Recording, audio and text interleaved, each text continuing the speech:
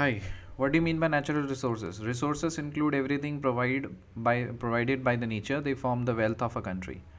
What are the types of natural resources? Exhaustible and inexhaustible. What are inexhaustible natural resources? There are some resources that are present unlimited in nature and will not be exhausted even if used continuously. जैसे sunlight है, air है. What are exhaust exhaustible natural resources? These resources are limited and can soon get exhausted because of their excessive use just like forest हो गया wild life हो गया minerals coal petroleum etcetera ये सब कुछ समय के बाद ख़त्म हो जाएँगे coal petroleum and natural gas are fossil fuels क्या ये बात सही है yes what are fossil fuels fossil fuels were formed from the dead remains of living organisms millions of years ago. Fossil fuels were formed from the dead remains of living organisms millions of years ago. Fossil fuels.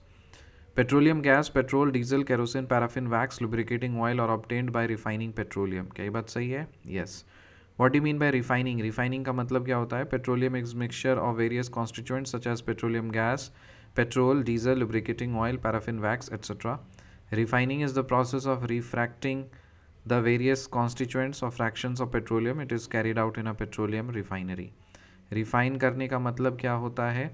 बहुत सारे constituents को निकाल देना, ठीक है? Petroleum is mixture of various constituents such as petroleum क्या है? Petroleum mixture है। किस किस चीज़ का? पेट्रोलियम गैस का पेट्रोल का डीजल का लुब्रिकेटिंग ऑयल का पैराफिन वैक्स एट्सेट्रा ओके और उसमें रिफाइन क्या करते हैं? Refining is the process of refracting the various constituents and fractions of petroleum so petroleum को हम लोग रिफाइन करते हैं उस पूरे मिक्सचर से। It is carried out in a petroleum refinery जब तक पेट्रोलियम रिफाइन नहीं होता, हम उसको यूज़ नहीं कर सकते as a petrol what you mean by natural gas a very important fuel as it is easy to transport through pipes and can be compressed and stored and a high pressure as compressed natural gas it causes no pollution and has high calorific value तो याद करने वाली चीज़ें हैं कि natural gas जो है, ये पोल्यूशन क्रिएट नहीं करता है और इसकी कैलोरिफिक वैल्यू जो होती है, वो काफ़ी हाई होती है।